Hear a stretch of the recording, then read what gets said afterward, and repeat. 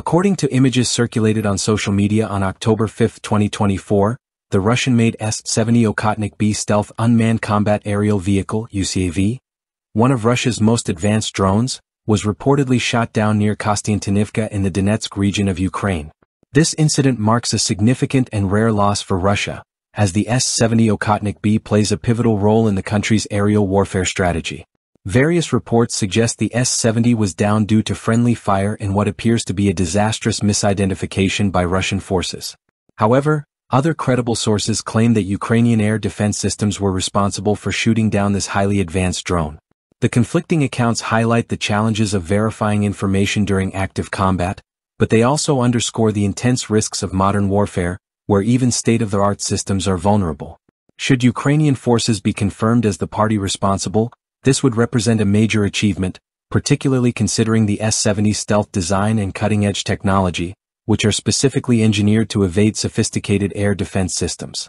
This raises important questions about the vulnerabilities of stealth drones in highly contested combat zones, where advanced air defenses are prevalent.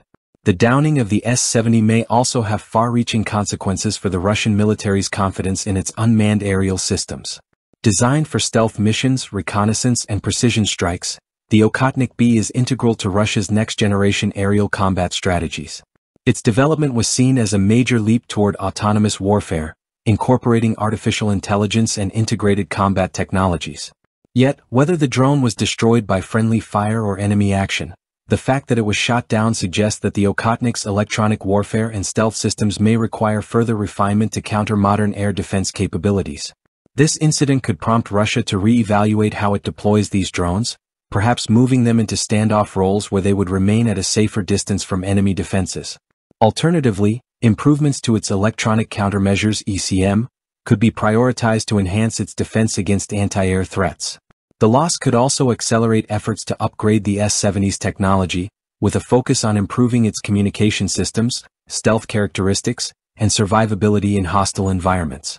Russian defense contractors may now be pressured to develop countermeasures capable of protecting the Okhotnik from advanced missile systems such as those used by Ukraine. Beyond its military implications, the loss of such a valuable asset on the Donetsk front could have broader geopolitical repercussions.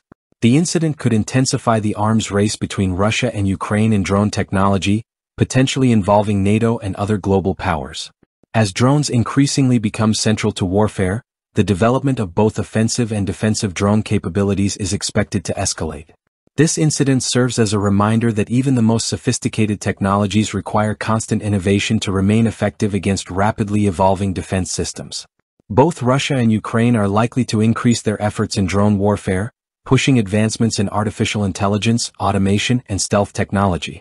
The S-70 Okhotnik B, as part of Russia's wider military strategy, symbolizes a shift toward more autonomous, integrated combat systems in modern warfare. These drones are designed to collaborate with manned aircraft in complex missions, potentially reshaping air combat dynamics. With its stealth features and ability to execute precision strikes, the S-70 was poised to play a crucial role in Russian operations, particularly in contested regions like Donetsk. However, the loss of this advanced drone could lead to a re-evaluation of Russian tactics and technology. It may also serve as a cautionary tale for other nations developing similar platforms, highlighting the importance of adaptability in the face of evolving threats and the central role of electronic warfare in drone survival. In conclusion, the downing of the S-70 Okhotnik B over Donetsk represents not only a blow to Russian military efforts but also a reflection of the intense and rapidly changing nature of modern aerial combat, where even stealth drones are vulnerable to advanced air defense systems. This event may mark a turning point in how such technologies are deployed and defended in future conflicts. The Sukhoi S-70 Okhotnik B, also known as the Hunter, is a cutting-edge Russian UCAV designed by Sukhoi in collaboration with other branches of Russia's defense industry. It represents a major advancement in Russian military technology, aimed at developing a heavy, stealth-capable UCAV capable of executing a range of combat and reconnaissance missions, asterisk asterisk. The development of the S-70 Okhotnik began in the early 2010s, driven by a growing global interest in military drone technology.